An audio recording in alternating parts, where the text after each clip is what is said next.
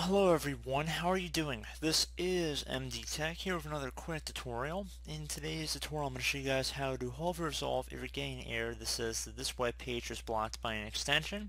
So if you're having this issue on Google Chrome, I'm going to show you guys a couple different methods on how to hopefully troubleshoot this issue. So the first one is going to be a pretty straightforward um, quick workaround just to see if it's an issue on your end on the menu icon in your top right corner of the browser. If you left click on it, right now it's three vertical dotted icons. Just left click on that and then select a new incognito window.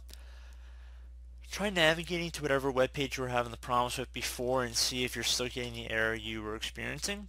Another thing you can try, so if we minimize out of our incognito window and went back over to the normal Google Chrome browsing window, items icon, and left click on that again one time left click on more tools and then left click on extensions. So I would go through the list of extensions that are going to be shown and go ahead and try and temporarily disable any of them. So if you're having problems, just try and go one at a time. So let's say for Chrome apps, let's say I want to disable docs. You can just left click inside this oval one time to turn into the off position, which will be indicated by just a gray oval with an empty circle on it. So it won't actually be blue anymore. So pretty straightforward on that part. Hopefully that would have resolved the problem. And once you're done with that, you would also maybe want to consider if you're using an ad blocking application. So if you're using ad blocker or something, go ahead and try and exclude it for that particular website. So just for left click on the icon in your top right corner of your browser and then just you want to turn it off for that web page.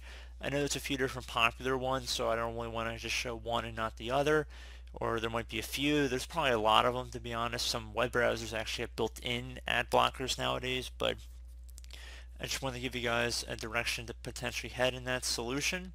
And once you're done with that, um, try and restart the browser again, see if it's resolved the problem.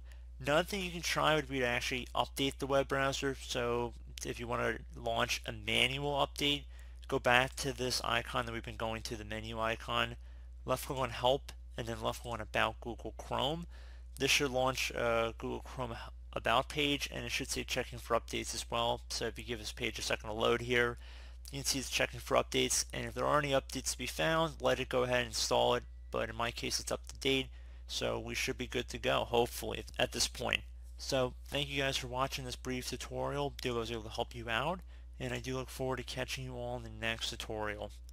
Goodbye.